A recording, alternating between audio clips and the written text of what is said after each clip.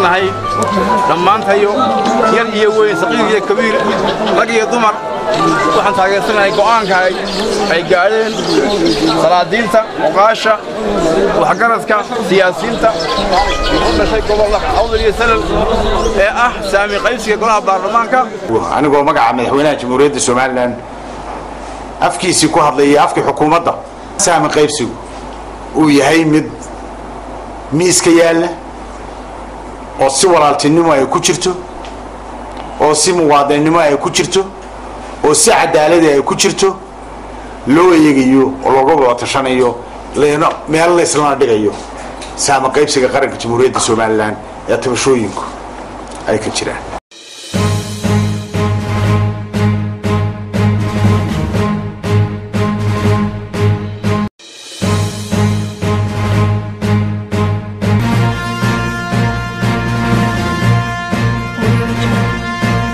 maanta madaxweynaha isugu yeera saddexda xisbi qaran iyo shir guddoonka golaha wakiilada. Madaxweynuhu wuxuu soo jeediyey uuna faray in saddexda xisbi qaran iyo ciddii kale looga maarmi waaya ay galaan arrintii baarlamaanka sharcigiisii dhinnaa ee ahaa saami qaybsiga. Mowduuca laga wada hadlayay wuxuu ahaa in tala midaysan oo qaran laga yeesho arrinta saami qaybsiga kuraasida golaha wakiilada. Intaasaa lagu heshiiyeen insha allahu tacala khayrna uu ka soo bixi doona haddii alla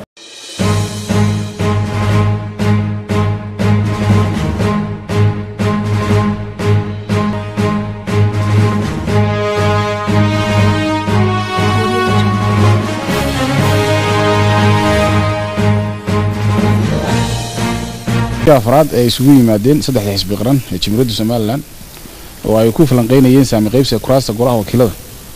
Sidaa darteed kulankii qabsoomay toddobaaatankii bisha julaay tobankii oo ahayd maanta waxaa dood dheer kabacdi saddexda xisbi qaran. Talo ay isugu noqdeen. Kadib waxay soo jeediyeen in aanay inaanay hayn wax go'aan ah oo ay ka qaadan karaan arrinta saami qaybsiga kuraasta golaha wakiilada. Sidaa darteedna waxay soo jeediyeen talada dib loogu celiyo madaxweynaha jamhuuriyadda somalilan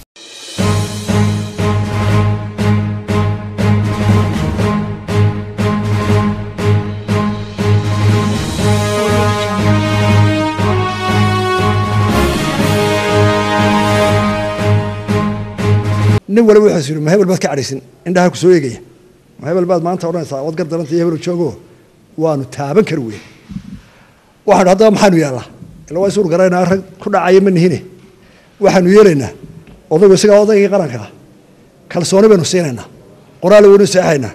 Wax alle waxaad ka garatee go'aanad soo saartaan kugu raacayna sidii halkan laga sheegay oo ahaa arrinta saami qaybsiga kuraasida doorashada laba kun iyo toddobiyo tobanka inaanu madaxweynaha u soo celinno.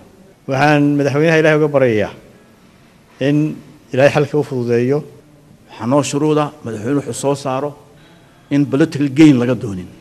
Ku jiqsi ay ku xumee waana isgarab taaga. Danta qaranka la horraysiiyaa war muhiima oo ka soo baxay xafiiska madaxweynaha. Markii ayay caddaatay in haddii doorashada golaha wakiilada lagu galo qaabka saami qaybsiga ee hadda jira ama la sameeyo saami qaybsi cusub oo aan laga baaraandegin ama taladiisa aan la ballaadhin oo u muuqda mindi roortay.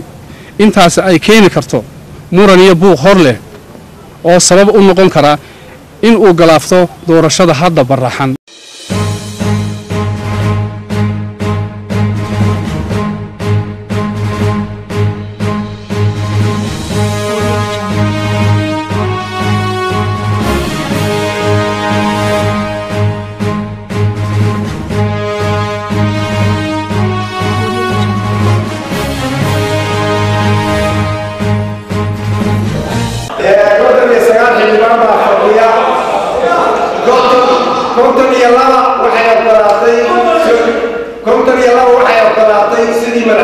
ku soo jeediyey qodobadii soo jeediyo isku dhan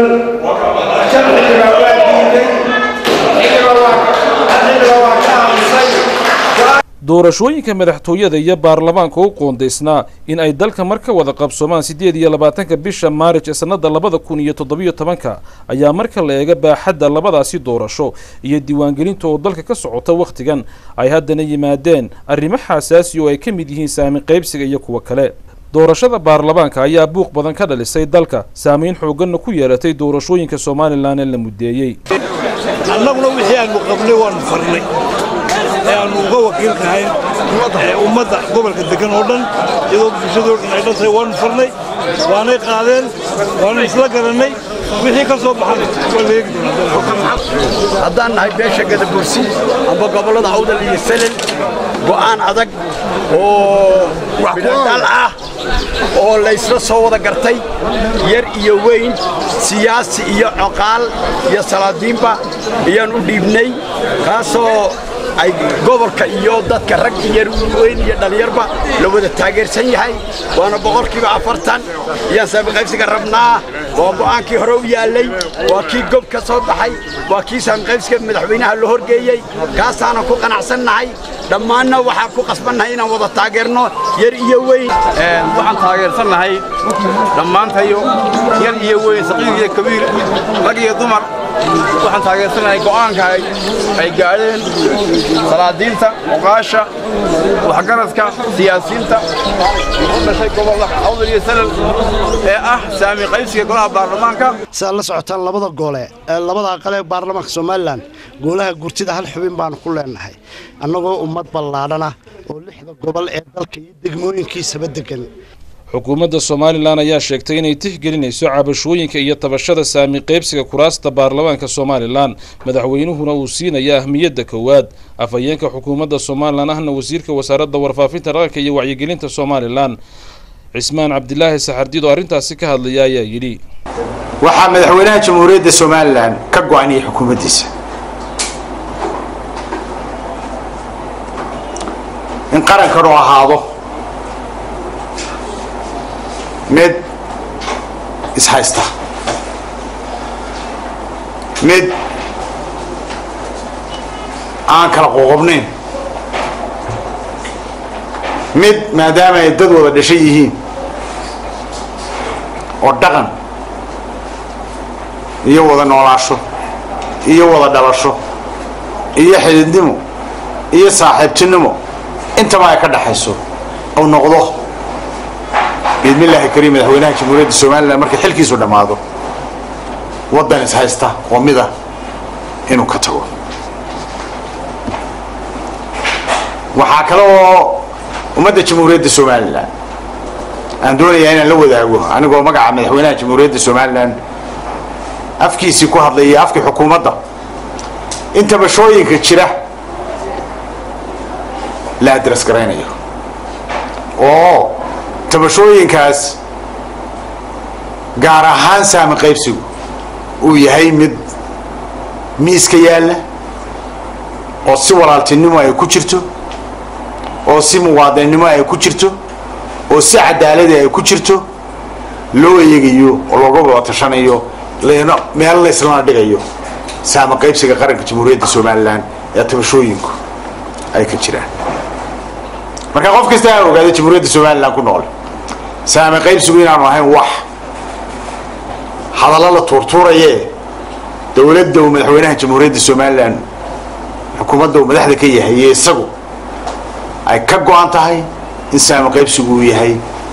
Kii qarankan isku tulayay kii qarankan walaalaynayay kii qarankan ka dhigaya dhammaystirka.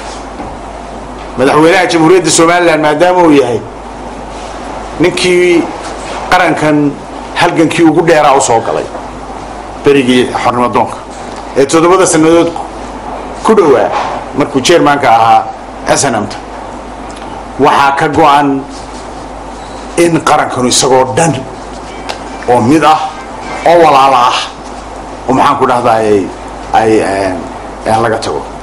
Saami qaybsiguna oo qaybta ugu weyn ee tabashooyinku ay ka jirto uu yahay madaxweynaha jamhuuriyadda somalilan mudane axmed maxamed maxamuud siina ayaa mas'uulka u sarreeya dalkani kana go-an tahay in doorashooyinku xilligooda ku qabsoomaan.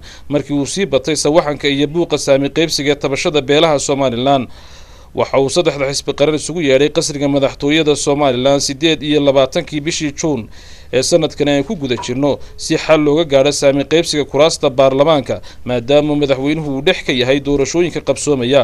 Waxaana arrintaasi ka hadlay guddoomiyeyaasha saddexda xisbi qaran ugana mahad celiyey madaxweynaha somalilan inuu isugu yeedho kulamo saacada qaatay kadibna waxa ay yidhaaheen maanta madaxweynaha isugu yeedha saddexda xisbi qaran iyo shir guddoonka golaha wakiilada. Madaxweynuhu wuxuu soo jeediyey uuna faray in saddexda xisbi qaran iyo ciddii kale looga maarmi waaya. Ay galaan arrintii baarlamaanka sharcigiisii dhinnaa ee ahaa saami qaybsiga. Bal inay iska arkaan sidii xal loogu heli lahaana ay isweydiiyaan. Waxaanu ugula dardaarmay in ciddii looga maarmi waayo sida commishonkoo kale iyagana loo aadno dee doonanno deetna arrintaa balle eega sidii loo geli karaayo iyo sidii loo xalili karaayo. Laba doorasho aynu wada qaadaynay waxay ku wada muddaysayeen isku maalin ta baarlamaankii madaxweynuhu. Alxamdulilah ta madaxweynaha wax dhibaatooyin kama taagna. Sharcigeedu waa dhan yahay hawsheedu way dhan tahay. Iyadu waxay u socotaa waddadeeda haysata. Waxay waxoogay dhibaatooyin kaga timid tii baarlamaanka oo sharcigii baarlamaanku aanu dhammayn. Kii hore lagu galana uu ahaa mar quraha lagu galo sharcigu dhigay deetana ay noqotay in bal sidee laga yeelaa arrintaa la isweydiiyo? Madaxweyneha arrintaa waanu ka aqbalay haddaanu saddexda xisbi nahay iyo shir guddoonkiiba. Haddii alla idhaahdo saddexda xisbi baa is arki doona maalinta khamiista ah haddii ilaahay idhaahdo gelinka hore tobanka. Waxaanu isleegi ba arrintaa xagga lagaga haagaya iyo sida lo odhanayo maanta wax arrina maanaan gelin. Madaxweynuhu farrintaasuna faray. Waanu ka aqbalnay annagaa isu noqon baanu nidhi sidaasaanu isugu noqonaynaa waa ka warqabteen oodda madaxweynaha shir isugu yeedhay axsaabta qaranka iyo shir guddoonka golaha wakiilada. Mowduuca laga wada hadlayay wuxuu ahaa in tala midaysan oo qaran laga yeesho arrinta saami qaybsiga kuraasida golaha wakiilada xeerka golaha wakiilada intaasaa ka qabiya ah. Sidaa daraaddeed madaxweyne wuxuu soo jeediyey inay axsaabtu arrintaa talo midaysan iyo ciddii arrintaa aan looga maarmaynba laga talageliyo arrintaasaa annaguna war ka qaadanay madaxweynaha. Axsaabtuna waxay ballameen. Arrinta lama gudagelin laakiin waxaa la ballamay. Arrintaas saami taladeedii waxaa loo ballamay bilowgeedii khamiista. Intaasaa lagu heshiiyeen insha allahu tacaala khayrna uu ka soo bixi doona haddii alla ilaah wax kaloo cusub ma jiro. Hogaamiyayaasha saddexda xisbi qaran ayaa dib ugula noqday. Xubno ka mid a ururada rayidka ah iyo cid kasta oo danaynaysa doorashooyinka somalilan kulamo bil socday ayaa waxa ay ku yeesheen meelo kala duwan iyagoo ka hadlaya arrintaasi saame qaybsiga iyo sidii xal loogu heli lahaa waxaanay toddobiyo labaatankii bishii julaay ee sannadan labada kun iyo lix iyo tobanka ay go'aan ku gaadheen in aanay wax xale u haynin. Arrintaasi madaxweynahana arrinta u gudbinayaan waxaana ay seexeen in madaxweynuhu u gudbiyaan arrintaasi. Xal kastoo madaxweynuhu uu ka gaadho arrintaasina ay ku qanci doonaan waxaanay meel fagaaraa ku wada seexeen heshiiska qoraalkaasi. Ay xal ugu waayeen arrintaasi loo xil saaray madaxweynuhu uu diray. Waxaana seexay guddoomiyeyaasha saddexda xisbi qaran iyada oo markii dambena saxaafadda uu ka hor akhriyey guddoomiyaha akademiyadda nabadda iyo horumarinta somalilan heshiiska wadatashiga saddex xisbi qaran ee arrinta saami qaybsiga kuraasta golaha wakiilada. Taariikhdu waxa weeye toddobiyo labaatankii bisha julaay lix tobankii. Kulankii afraad ee isugu yimaadeen saddexda xisbi qaran ee jamhuuriyadda somalilan oo ay ku falanqeynayeen saami qaybsiga kuraasta golaha wakiilada. Sidaa darteed kulankii qabsoomay toddobiyo labaatankii bisha julaay laba kun iyo lix tobankii oo ahayd maanta waxaa dood dheer kabacdi saddexda xisbi qaran talo ay isugu noqdeen. Kadib waxay soo jeediyeen in aanay inaanay hayn wax go'aan ah oo ay ka qaadan karaan arrinta saami qaybsiga kuraasta golaha wakiilada. Sidaa darteedna waxay soo jeediyeen talada dib loogu celiyo madaxweynaha jamhuuriyadda somalilan waxay isla gaadheen saddexdan qodob ee hoos ku xusan. Kow in arrinta saami qaybsiga kuraasta golaha wakiilada dib loogu celiyo madaxweynaha jamhuuriyadda somalilan isla markaana madaxweynuhu go'aanka mardambaysa ka gaaro arrinta saami qaybsiga kuraasta golaha wakiilada. Laba waxaa la isla qaatay in saddexda xisbi u hoggaansamaan go'aanka uu madaxweynuhu gaadho ee khuseeya arrinta saami qaybsiga kuraasta golaha wakiilada. Saddex in akaademiga nabadda iyo horumarka iyo dalladda ururada bulshada sonsaf ay ku ilaaliyaan saddexda xisbi qaran fulinta qodobada lagu heshiiyey. Saxiixayaasha cabdiraxmaan maxamed cabdilaahi ciro gudoomiyaha xisbiga wadani muuse biixi cabdi gudoomiyaha xisbiga kulmiye. Injineer faysal cali xuseen gudoomiyaha xisbiga ucud waxaa kulankaa markhaati ka ahaa maxamed faarax xirsi gudoomiyaha akaademiga nabadda iyo horumarka maxamed axmed maxamuud agaasimaha dalladda ururada bulshada ee sonsaf labadii bishii ogost ee sannadan labada kun iyo lix iyo tobanka ayaa guddoomiyeyaashu waxa ay qoraalkii u gudbiyeen madaxweynaha somalilan iyo uu qasriga madaxtooyada tegey waxaana ay madaxweynaha u gudbiyeen qoraalka ay soo gaadheen inay xal ka gaadhi waayeen loona baahan yahay madaxweynuhu inuu xal ka gaadho arrin kastoo uu keenana ay ku qancayaan. Kulamo badan baanu yeelannay oo dhowra. Kulamadaa gunaanadkoodii wuxuu noqday. Aanu isku waafaqnay laba qodob sidii halkan laga sheegay oo ahaa arrinta saami qaybsiga kuraasida doorashada laba kun iyo toddobiyo tobanka inaanu madaxweynaha u soo celinno qodobka labaadna wuxuu ahaa in xalka madaxweynuhu gaadho ee ku saabsan saami qaybsiga kuraasida golaha wakiilada axsaabtu ay aqbalaan waxaan madaxweynaha ilaahay uga baryayaa in ilaahay xalka u fududeeyo xal aynu ku qabanno labada doorashona ilaahay ina waafajiyo madaxweynahana waafajiyo nin waliba wuxuu yidhi ma hebel baad ka cadhaysin indhaha ku soo eegaya hebel baad maanta odhanaysaa waad gar daranta joogo waanu taaban kari weyn.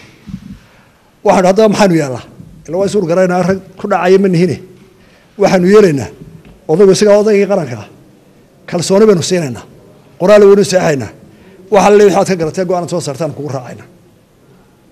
Ila innaga waa inagaan xishoonayna ee nin walba indhihiisa ereegayne sidii baanu ku heshiinay waxaan uga mahadnaqayaa xisbiyada qaranka labada mucaaridka ah taladaa wanaagsan ee nagu raaceen ee in odayga go'aankiisa aanaan ka daba hadlin ee qaran ahaan nagu dhaqano waa ugu mahadnaqayaa qoladan akaademiyada iyo qoladan rayidka ana dadaalka ay sameeyeen aad iyo aad yaan ugu mahadnaqayaa way dadaaleen waxay naga caawiyeen facilitationka shirka.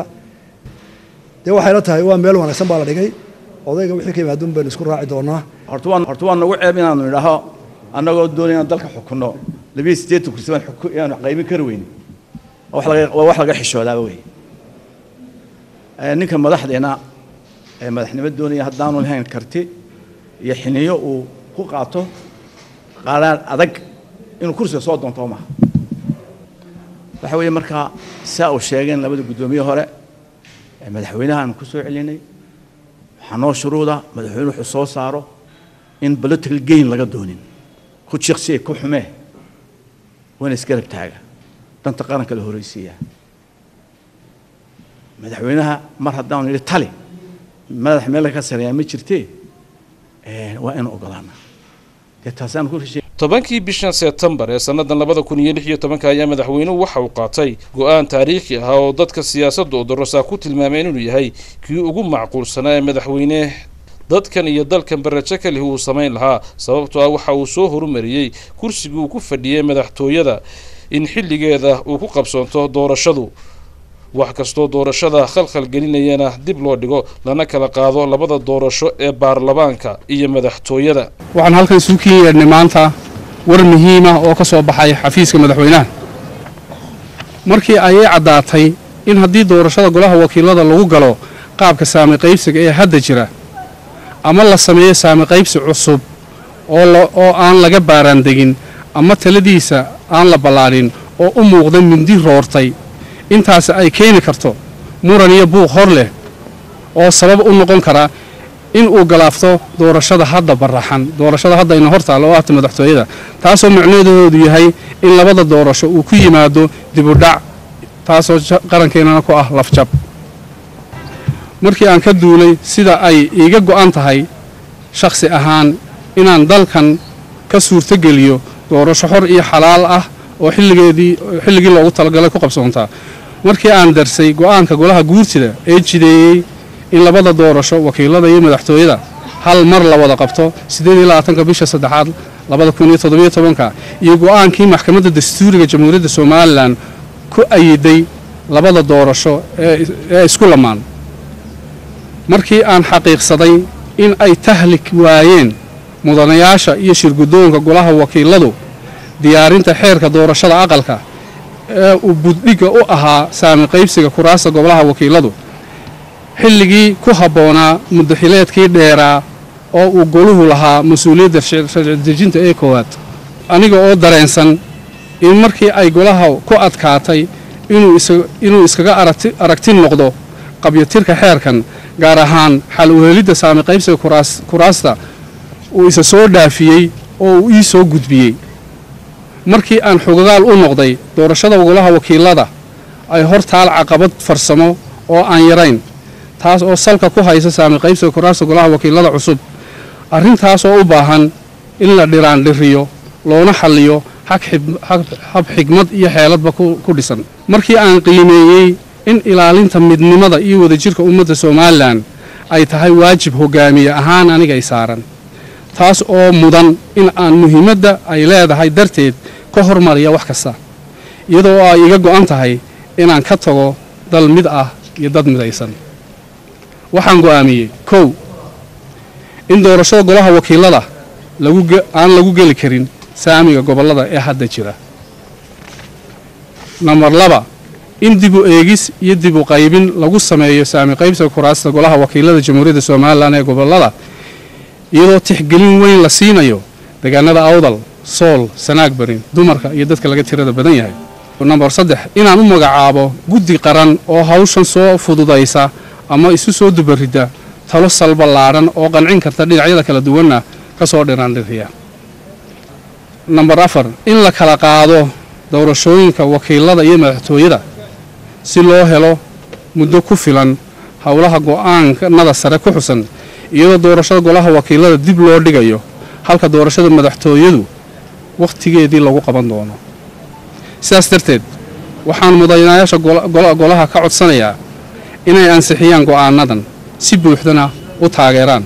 Ugu dambayn kadib marka uu goluhu ka guto waajibkiisa dastuuriga ah go'aanadan xalka u ah xaaladda haatan taagan waxaan u gudbin doonaa idamka eebbe maxkamadda dastuuriga ee jamhuuriyadda somalilan.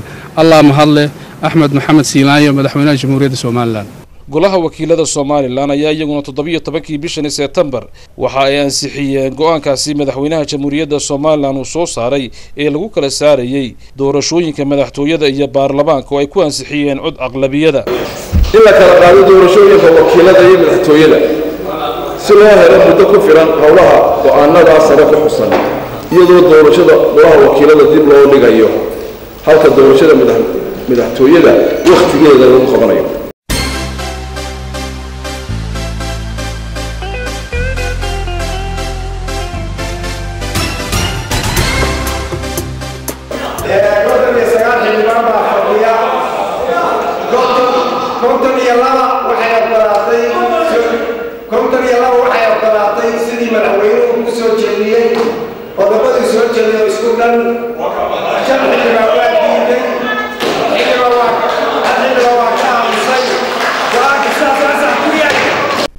go'aankaasi madaxweynaha iyo golaha wakiilada somalilan codka aqlabiyadda ay ku ansixiyeen iyaguna ayaa shacabweynaha somalilan iyo aqoon-yahanada siyaasiyiinta cid kastoo dheergaradii waxa ay soo dhoweeyeen go'aankaasi kuna tilmaameen inay fursad weyn u tahay in somalilan ay ka qabsoomaan doorashooyinka madaxtooyada oo muhiim ahayd maadaama ay jiraan sababo badan oo saameyn karayay dibna u dhigi karaya haddii labada doorasho la israacin lahaa guddida diiwaangelinta ururada iyo ansixinta xisbiyada ayaa ka mid ahaa dadkii sida weyn uga hadlay arrintaasi kuna tilmaamay haddii labadaasi doorasho la israacin lahaa inaanay suuragal ahaateen in dalka somalilan ay doorasha ka qabsoomi lahayd. Doorashada golaha wakiilada mushkiladda ugu culus waxaa weeye tasaami qaybsiga laakiin ilaa labaataniyo kale oo qodob oo aan la qabyo tirin ayaa iyana jira mawduucu laakiin kaa maaha. Madaxweynuhu waa kii soo saaray wareegtada uu ku kala saarayo isaga oo doorashada teerabkii u harsanaa ka tanaasulay ayuu haddana doorashadii madaxweynaha soo dhigay in la qabto muddadeedii. Waa taariikh afrikaanka ku yar dowladaha saddexaad ku yar. Haddii madaxweynuhu labada doorasho isku lamaaneyn lahaa mushkiladaasi xal looma heleen waxaana iman lahayd kororsiimo doorashada wada qabashadu weli in ay tahay mid aan suurtagal ahayn technical. Sababtoo ah haddaynu taabka qora soo qaadano. Laba doorasho laba sanduuq lagu kala ridayo way naga cusubtay. Dadkeennima intaa wax qortaa ee kala saari kartaana way yar tahay marka la eego waktiga ay ku qaadanayso qofka codaynaya in uu kaga soo baxo goobtii codaynta haddaynu ka dhigno bal inta ugu yar ee aan is leeyahay mama dhici karto laba minid laga dhigo qofkii. Saacaddii waxaa codaynaya saddex boqol. Laba iyo tobanka saacadood ee doorashada loo xadiday toban saacadood baa la codeeyaa markaad ku dhufato soddonkii toba ku dhufato waa saddex boqol. Bolis station kasta oo loo qayday shan boqol oo qof inay ka codeeyaan ama ha ahaade a b c d ha ahaado ama a b ha ahaado ama a qura ha ahaadee mid walba sanduuq kasta waxaa loo cayimay shan boqol.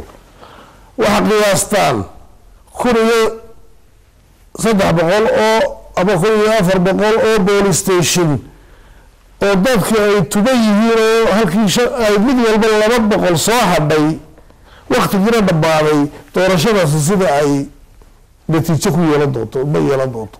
Tirada codayn doontaa waxay noqonaysaa wax horta nambarkii codayn jiray hore ka yar. Dadkii oo tubanna waxaa la xidhaya police stationka. Horta technically sidaasaanay ku tahay mid farsamo ahaan aan suurtagal ahayn. Waxaa kaloo taalla marka khilaaf yimaado laba boqol iyo lix iyo afartan mudane oo tartamaya khilaafaad baa imanaya khilaafaadkaasi waxaa xalila madaxweyne la doortay oo waktigiisii harsan yahay ayaa xalili jiray. Doorashooyinkiina soo mara waa garanaysaan tii deegaanka ugu dambeysaan garanaysaan halistaynu galnay. Madaxweyne loo habradayo oo muddadiisi hadhay ayaa jirtay. Haddii uu madaxweynuhu yahay ka soo baxaya khilaafka dhacaano uu sababayo in laysku qabsado. Madaxweynahana uu yahay kii wareejinayo bisha kadib ay tahay. Waxay noqonaysaa in doorashadaasi ay kansal sanduuqii la kansal gareeyaaba uu saameeyo tii madaxweynaha.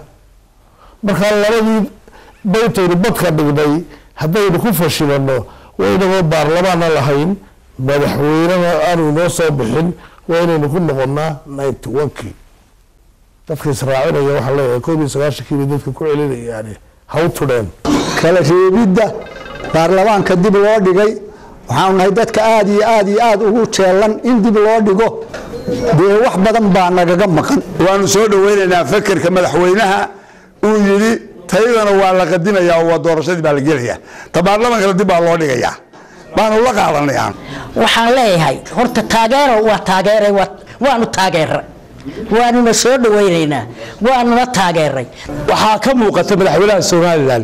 Maadaama uu nin weyn yahay waayo araga yahay oday yahay musharaxna aanu ahayn waxaa u muuqatay inuu kaga tago reer somalilan iyagoo gamcahays haysta oo cadaalad wax ku qaybsada soomaalida waxay ku mahmaada rag cadaalad waaya sida cawsha kale yaa waxaa weeye cadaaladdaraynu tirsannay maadaama cadaaladdarra aynu tirsanay madaxweynuhu inuu kaga tago iyadoo dadku siman yahay. Waxay ka turjumayaan oo dareenkooda muujinayaan siday ugu qanacsan yihiin kala reebidda oo kala reebay golaha baarlamaanka iyo madaxtooyada madaxweynuhu iyadoo somalilan iyo bulshadeeduba si weyn u soo dhoweeyeen go'aankaasi madaxweynaha ee baarlamaanku ay ansixiyeen ayaa waxaa la yaab noqotay markii hadal aan laga filaynin uu ka soo yeeray xisbiga waddani oo guddoomiyahoodu uu seexay in lagu qanco go'aankaasi uu madaxweynuhu soo saaro maadaama ay xal u waayeen saddexda xisbi qaran go'aankii loo diray. Golaha wakiilada somalilan oo go'aankaasi ansixiyeen oo guddoomiyaha xisbiga waddani hoggaan ka yahay sababta ay xisbiga waddani ugu badhi fureen go'aanka guddoomiyahoodu uu qaatay iyo wada socod la'aanta ka dhexaysa xisbiga mucaaridka ee waddani. Bal waxaynu eegi doonaa hadalkii ka soo yeedhay xisbigaasi waddani kadib markii go'aankaasi loo riyaaqay. Waxaa halkan maanta shir jaraa'id ku qabanayaan ama warmurtiyeed kuna sheegaya warmurtiyeeda xisbiga waddani soo saaray. Waxaan u aragnaa inay tahay muddo kororsi oo lagu kororsanayo golaha wakiiladana loogu kordhinayo madaxtooyadana loogu hadalka ay maanta leeyihiin golaha wakiilada ayaanu dib u dhigaynaa taayadu waa naga diyaar. Kuwa horey la mid dalkan ugumay talagelin wax la yidhaha doorasho laakiin saamigii waxaa loo dhaafay muddo kororsi ay xukuumadda iyo xisbiga kulmiye diyaar u yihiin inay dalkan geliyaan. Hadday tahay golo wakiilo hadday tahay madaxtooyo hadday tahay golo guurti oo isagu noqday lama taabtaan. Muddo kororsigun meesha u fadhiya xisbiga mucaaridka ucid ayaa wax lala yaabo ku tilmaamay hadalkaasi ka soo yeedhay xisbiga wadani oo ahaa mid aan laga filaynin. Ninku ma aha isagoo guri quraarada ku jira inuu guryaha kala tuurtuuro xisbiga waddani. Dhaliishiisu meeshii la qabtaaba waa dhalin. Hal allah halkii laga taabtaa? Laakiin annagu inta badan muraayad baanu ka xidhannaa. Dhaliishiisa. Waayo waa xisbi aanu mucaarad wada nahay. Maanta se waa loo jawaabaya. Haddaba sawirkan aan halkan ka tusayo shacbiga reer somalilan waa saddexda guddoomiye waxa weeye muuse biixi faysal cali waraabe iyo cabdiraxmaan cero saddexduba waxay saxeexeen heshiiskaasay saxeexeen heshiiskaas ayay saxeexeen heshiiskaasina waxa weeye waa kan shalay ay nagu eedaynayaan annaga waxaanu ku qaadannay madaxweynaha waxa ka soo baxay inaanu qaadanno. Waanu saxeexay cero haddaba maadaamay sidaa tahay ma aha guddoomiye cero inuu ka warwareego sida caadada u ah ee somalilan oo dham iminka ku taqaano inuu ka warwareega ma aha heshiiska uu la galo axsaabta mucaaradka axsaabta qaranka.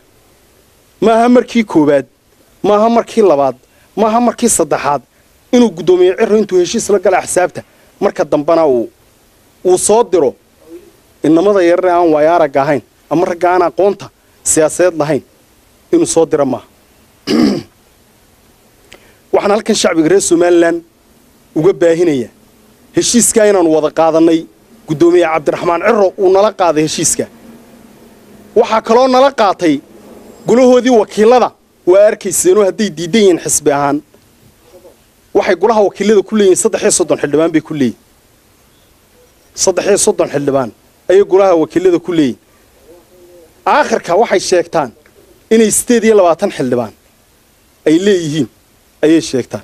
Sideed iyo labaatankoodii xildhibaan imisaa diiday saxaafadda iyo shacbiga reer somalilan baan u daynaya afar nin baa afar qof baa diiday afar nin oo keliyaa diiday waa saddex nin iyo inan baa diiday waxay arrintu ka sii dartay markii ay isku beegmeen hadallada waddani ka soo yeedhay iyo hadallo nusqaan ku ahaa qarnimada somalilan oo ka soo baxay qaar ka mida qaadhaanbixiyayaasha hase yeeshee waxgaradka aqoon-yahanada qeybaha kala duwan ee bulshada iyo indheergaradka oo iyagu markii hore go'aankaasi madaxweynaha u riyaaqay ayaa u quusgooyey qaadhaanbixiyayaasha tilmaamayna in somalilan ay isku tashan doonto waxaana dadka reer somalilan mar walba ay ku taageeraan qarannimada somalilan oo ay xukuumadda talada hayse la berber taagnaayeen waxaana ay ku suntan yihiin dadka reer somalilan qarannimada somalilan sidaa u ilaashanayaan.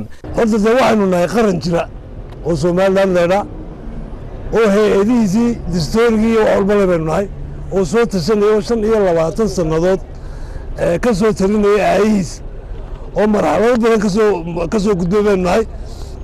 Markaa xaqi nooguma laha beesha caalamku inay maanta tidhaahdo labadii doorashood kala qaadeen isku soo celiyo go'aankii ka noqda xaqi nooguma laha sababtoo ah waxa weeya waxaanu nahay dal aayihiisa ka tashada madaxweyne madaxweyne ku-xigeen baarlamaan wax walba leh. Waddan walibana isagaa og duruuftiisa gudihiisa inuu isagu ismaamulo uu ishagaajiyo siday wax ugu saxmayaan. Iyo siday ku hagrinta isagaa og. Meesha caalamku waxay xaq ugu leedahay oo keliya inay wixii mucaawinaha ee dimuqraadiyadda ay ka caawiso. Laakiin xaq uguma laha inay tidhaahdo gudahaaga nidaamkaaga ayaan anigu ka shaqaynaya sidaan yeelo. Maaragtay aan ku taliyo yeel haddii ay beesha caalamku talinayaan muqdishoay ka talinayaan waxba ka socon waay waa tan soomaaliya ay dul joogaan. Afar iyo labaatanka saacadood waxbaan qabanaya waxba ka qabsoon lahayn. Meesha wax qabsatay ee maaragtay aayada ka tashanaysa inay burburiyaan ma aha. Beesha caalamka waxaan leenahay. Haddaad wax qabanaysin ood wax taraysin wax u soo tara oo dimuqraadiyadda u heliya oo ictiraafkii somaliland raadiya haddii kalese faraha kala baxaan. Waxa weeyaan waxaan nahay qoomiyad dad baan nahay annaga isku tashanana annaga howlaha iyaga hoos u wadana ummaddayada ummadda somalilan wixii ay ku burburaysa wixii wadan ah qarankooda yaqaana dhaqankooda yaqaana madaxdhaqameedkooda yaqaana hay'adda ama international communitigu uma taliyaan. Annaga ayaa ka tirsan haddii ay raalli ku yihiin sida aanu annagu doonano ee qaranku wax u qabsanayo ee ummaddan ay wax u qabsanayso waxa ugu qabtaan. Laakiin waxbaan kuu yeedhinaya horena waanu u diidnay haddana ma